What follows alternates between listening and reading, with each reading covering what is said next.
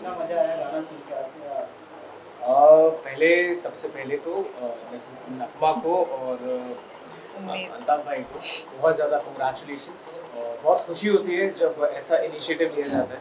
और मैं कहीं मौका नहीं छोड़ता कि किसी की खुशी में उस खुशी का पार्ट बन सकूँ। और बहुत अच्छा लग रहा है मुझे और फ़िल्म ये ये जो इनिशिएटिव है आई गेस मैं सॉन्ग्स uh, की बात तो बाद में करूँ क्योंकि क्योंकि क्या होता है कि because of lockdown there many people who are jobless now who are not getting work so आज की डेट में अगर ऐसा इनिशिएटिव लेके एक प्रोडक्शन और सेटअप करना एंड इतना अच्छा गाना खूबसूरत तरीके से बनाना that is very very precious and बहुत अच्छा लगा मुझे कितना अच्छा इनिशिएटिव लिया क्योंकि अल्ताफ भाई ने मेरी एक फ़िल्म में दोस्ती की साइड इफ़ेक्ट में गाना गाया था और तभी मैं उनका फ़ैन हो चुका था।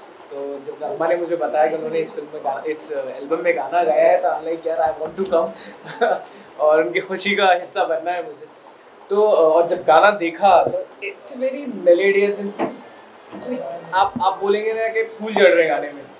और जैसा अल्लाह भाई ने बताया कि ये एक्चुअल में आज की डेट में generation gap is happening the audience is different so उन लोगों को वो चीज़ देखने को मिल ही नहीं रही है।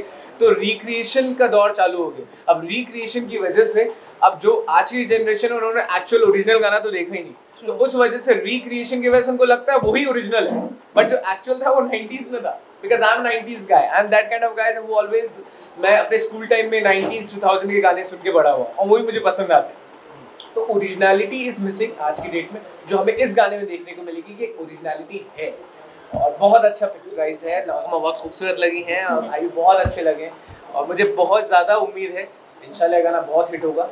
और कोशिश यही है कि जितना लोग, आप लोग जितना शेयर कर सकें मल्टीपल व्यूइंग कर सकें, उतना अच्छा because this song deserve viewing this song this kind of songs you know ये ये डिजर्व करते हैं। आगे बढ़ना और आगे इनकी व्यूइंग बढ़े। That's what I want to say yeah wish wish this song and production house. Best wishes forever. Thank you so much. Thank you. thank you. आपने अभी हाल ही में सुशांत सिंह राजपूत की जिमी पे एक मूवी की है। उसके बारे में कुछ बताइए आप।